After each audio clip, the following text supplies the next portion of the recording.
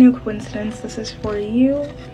Okay, maybe a little energy cleanse before we start this message. Anything can come out.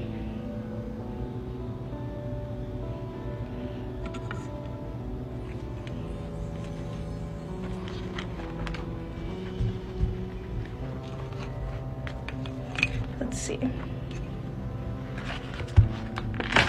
What is your message for today? What is your message?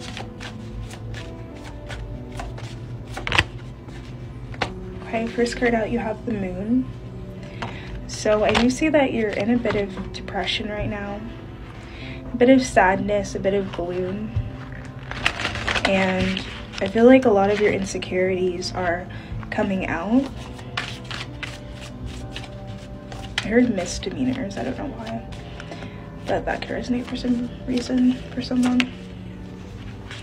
Leave the Six of Swords.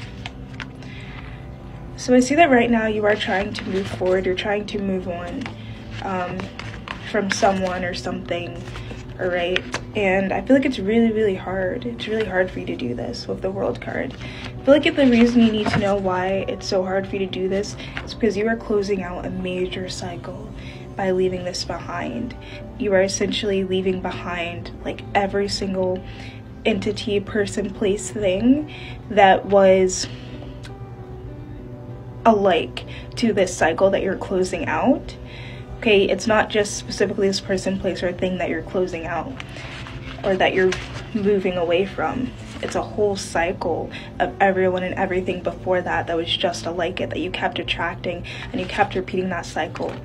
But the good news is that the worst is truly behind you. You have ended that cycle with the death card. You have transformed as a person. You are not the same person. You will not be in that cycle again. And this is a huge thing to celebrate.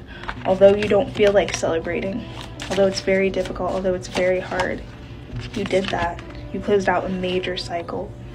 Judgment. this card is so funny. Um, and yeah, I feel like the divine was watching the divine was watching, Seven of Swords, you let go of those that judged you. You let go of narcissists, of toxic relationships, of toxic work environments, um, of your own negative thinking, your own negative mindset, holding yourself back. Those are the cycles you closed out.